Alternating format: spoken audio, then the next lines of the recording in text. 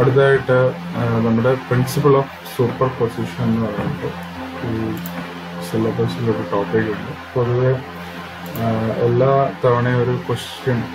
expect ചെയ്യുന്നതാണ് ഈ principle നമ്മൾ ക്ലാസ് ചെയ്തതാണ് ഒരു സിമ്പിൾ പ്രോബ്ലം എങ്ങനെയാണ് ഓർഡർ ചെയ്തത് എങ്ങനെയാണ് ചെയ്യുന്നത് കാണിച്ചിട്ട് നമുക്ക് ക്വസ്റ്റ്യൻ പേപ്പർ വന്ന് നോക്കാം പൊതുവെ സൂപ്പർ സൂപ്പർ പൊസിഷൻ പ്രിൻസിപ്പിൾ പറയുന്നതെന്ന് പറഞ്ഞു കഴിഞ്ഞാൽ നിങ്ങൾക്ക് വേരി ചെയ്യുന്ന ഒരു ക്രോസ് സെക്ഷൻ ഇപ്പോൾ ഇവിടെ മുപ്പത് മില്ലിമീറ്റർ ഡയമീറ്റർ മുപ്പത്തഞ്ച് മില്ലിമീറ്റർ ഡയമീറ്റർ മുപ്പത് മില്ലിമീറ്റർ ഡയമീറ്ററിൽ മൂന്ന് ഒരു സ്റ്റെപ്പ് ഷാഫ്റ്റ് ഉണ്ട് ഇതിൽ ഒരു ലോഡ് അപ്ലൈ ചെയ്യുകയാണെങ്കിൽ ഇതിൻ്റെ ടോട്ടൽ ഇലോമിനേഷൻ എന്ന് പറഞ്ഞാൽ ഇതിൽ ഓരോ പോർഷൻ്റെ ഇൻഡിവിജ്വൽ ഇലോമിനേഷൻ ആഡ് ചെയ്താൽ കിട്ടുന്നതാണ് ടോട്ടൽ ഇലോമിനേഷൻ ഇലോമിനേഷൻ എന്ന് പറഞ്ഞാൽ അറിയാമല്ലോ കംപ്രഷൻ ആണെങ്കിൽ കംപ്രഷൻ ടെൻസൈൽ ആണെങ്കിൽ ഇലോമിനേഷൻ അപ്പോൾ ഇങ്ങനെ ഒരു ക്വസ്റ്റ്യൻ നിങ്ങൾക്ക് ആദ്യം കിട്ടുകയാണെങ്കിൽ ആദ്യം തന്നെ ഇതിനെ നിങ്ങൾ വരയ്ക്കുക ഇത് ഡ്രോയിങ് ഇത് മിക്കവാറും ക്വസ്റ്റ്യനുകൾ ചിലപ്പോൾ ഉണ്ടാവും അപ്പോൾ ഇത് വരയ്ക്കുക വരച്ചിട്ട് ഇതിനെ മൂന്നായിട്ട് ഡിവൈഡ് ചെയ്യുക മൂന്ന് പോർഷൻസ് ഒന്ന് രണ്ട് മൂന്ന് അത് കഴിയുമ്പോൾ നമുക്ക് ആദ്യം ചെക്ക് ചെയ്യേണ്ടത് ഈ സിസ്റ്റം ഇക്ലിബ്രിയത്തിലാണോ എന്നുള്ളതാണ് ഇക്ലിബ്രിയത്തിലല്ലെങ്കിൽ നമുക്ക് ഈ മെത്തേഡ് വെച്ച് സോൾവ് ചെയ്യാൻ പറ്റില്ല അപ്പോൾ ഇക്ലിബ്രിയത്തിലാണെങ്കിൽ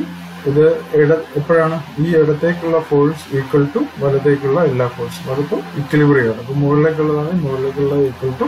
താഴേക്ക് അങ്ങനെയാണ് എക്സ് വൈസ് പ്ലെയിനിൽ ഒരു ക്ലീനിയം പ്ലെയിനിൽ ഇക്വലിബ്രിയം ആണെന്ന് കണ്ടുപിടിക്കും ഇവിടെയാണെങ്കിൽ forty five kilo thirty kilo ഒരു ഡയറക്ഷനിൽ അപ്പോൾ സെവൻറ്റി ഫൈവ് ഞാനിവിടെ മൈനസ് ഒന്ന് കാണിച്ചിരിക്കുന്നത് ഒരു വെക്ടറായതിൻ്റെ ഇതിൻ്റെ സമ്മേഷൻ സീറോ ആണെന്ന് കാണിക്കാൻ വേണ്ടിയിട്ടാണ് ഇവിടെ ട്വൻറ്റി ഇവിടെ ഫിഫ്റ്റി ഫൈവ് ഇതെല്ലാം കൂടി ചേർന്ന് seventy five minus seventy five zero അപ്പോൾ ഇക്ലിബറിയം ഓൾറെഡി എസ്റ്റാബ്ലിഷ് ചെയ്തു പിന്നെ ഇതിനെ ഞാൻ ചെയ്യുന്ന പോലെ അന്ന് നമ്മൾ ക്ലാസ് പറയുമ്പോൾ ഇതിനെ മൂന്നായിട്ട് ഡിവൈഡ് ചെയ്യാം അപ്പോൾ ആദ്യത്തെ പോർഷൻ ഒരു മീറ്റർ നീളമുള്ളത് രണ്ടാമത്തെ വൺ പോയിന്റ് ടു മീറ്റർ മൂന്നാമത്തെ വൺ മീറ്റർ അപ്പോൾ ഇതിനകത്ത് ഏറ്റവും ക്രിട്ടിക്കൽ ആയിട്ടുള്ളതെന്ന് പറഞ്ഞാൽ ഈ ഫോഴ്സ് മാർക്ക് ചെയ്യുന്നതാണ് അപ്പോൾ ഇവിടെ നമ്മൾ ഇടത്തുനിന്ന് വലത്തേക്ക് അല്ലെങ്കിൽ വലത്തുനിന്ന് ഇടത്തേക്ക് മൂവ് ചെയ്ത് സോൾവ് ചെയ്ത് പോവാം അപ്പം ഇവിടെ നിന്ന് വലത്തേക്ക് സ്ക്രോൾ ചെയ്യുന്നതെങ്കിൽ ഇത് ഫോർട്ടി ഫൈവ് കിലോമീറ്റർ ഇങ്ങോട്ടുള്ളത് എത്രയാണ് ഈ സൈഡിലേക്ക് ഫോർട്ടി ഫൈവ് കിലോമീറ്റർ ഈ സൈഡിലേക്ക് ഫോർട്ടി ഫൈവ് കിലോമീറ്റർ വന്നിട്ടുണ്ടെങ്കിൽ ഈ സൈഡിലേക്കും ഫോർട്ടി ഫൈവ് കിലോമീറ്റർ ഉണ്ടാകും എങ്കിൽ മാത്രമേ ഇത് ഇക്വിലിബ്രിയത്തിൽ നിലനിൽക്കുകയുള്ളൂ അപ്പോൾ ഇവിടെ ഫോർട്ടി ഫൈവ് ഇവിടെ ഫോർട്ടി ഫൈവ് ഇനി രണ്ടാമത്തെ പോർഷനിലേക്ക് കിടക്കുക രണ്ടാമത്തെ പോർഷനിൽ എന്താണ് നമുക്കുള്ളത് നമുക്ക് ഇരുപത് ന്യൂട്ടൺ ആണ്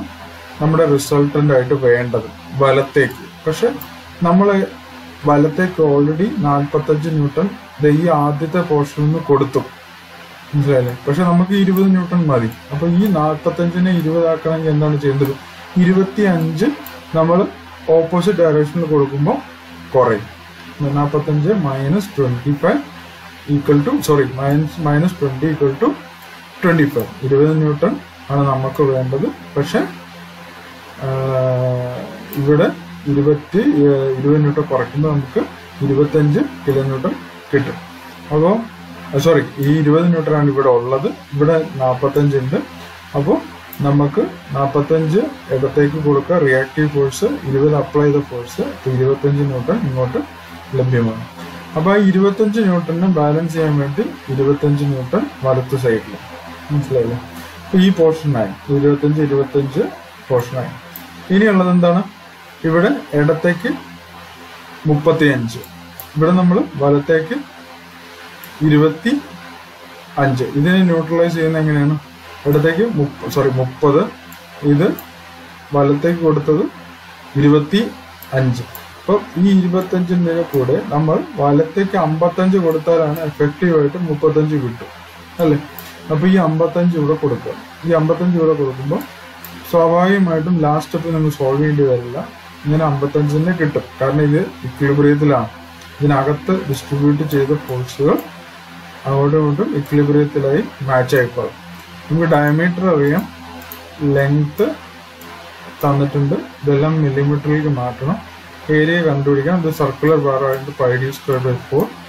E Young's modulus ഞാൻ ഇവിടെ യൂണിറ്റ് ചെയ്തിട്ടില്ല newton per M M square ആണ് ടു ഇൻറ്റു ടെൻ ഇത് കാണാൻ പഠിക്കുന്നുണ്ട് two point zero five into five ആണ് പക്ഷേ ടു ടു എന്ന് എഴുതിയാലും മതി two into ten two five newton per M M square നമുക്ക് ഈ ഇക്വേഷൻ നമ്മൾ ക്ലാസ്സിൽ ചെയ്തിരിക്കുകയാണ് change in length equal to P L by A E ആദ്യത്തെ സെക്ഷനിലെ പി എത്രയാണ് ഫോർട്ടി ഫൈവ് എൽ നമുക്കറിയാം എ നമുക്കറിയാം ഇ e നമുക്കറിയാം അതേപോലെ രണ്ടാമത്തെ ട്വൻറ്റി ഫൈവ് എൽ അറിയാം ഇ e അറിയാം എ അറിയാം മൂന്നാമത്തെയും കണ്ടുപിടിക്കുക ഇത് മൂന്നും കൂടി ആഡ് ചെയ്താൽ നമുക്ക് ഇതിൻ്റെ ടോട്ടൽ ഇലോമിനേഷൻ കിട്ടും അപ്പോൾ പൊതുവേ ഇതിൻ്റെ ചില സമയങ്ങളിൽ ഇതിൻ്റെ ഏരിയ കോൺസ്റ്റൻ്റ് ആയിട്ടുള്ള ക്വസ്റ്റ്യൻസ് ആയിരിക്കും ചോദിക്കുക ചില സമയത്ത് വേരിയിങ് ക്രോസ് സെക്ഷൻ ആയിരിക്കും ചോദിക്കുക എന്തായാലും നോക്കാം ഏതെങ്കിലും ക്വസ്റ്റ്യൻ ഉണ്ടോ എന്നും